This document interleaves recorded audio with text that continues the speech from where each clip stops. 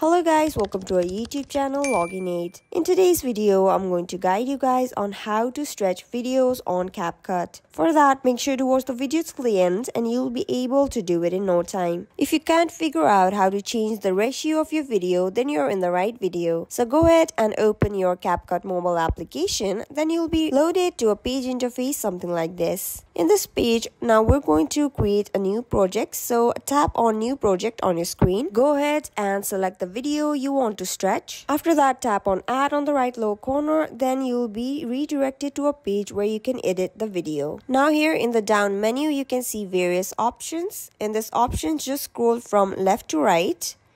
After you slide from left to right, you can see an option of ratio. After you see that option, tap on it.